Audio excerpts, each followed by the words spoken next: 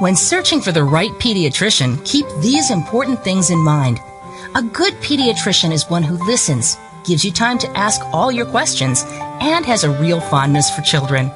You may also want to check your insurance company's care provider list. This may help you narrow down potential candidates and save on added expenses. The following are three vital tips to consider when choosing the right pediatrician. 1. Inspect the facility.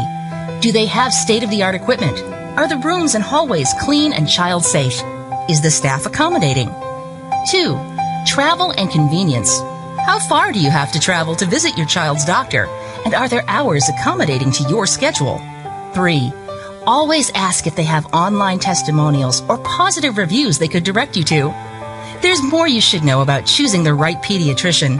The information we provide could save you time and money.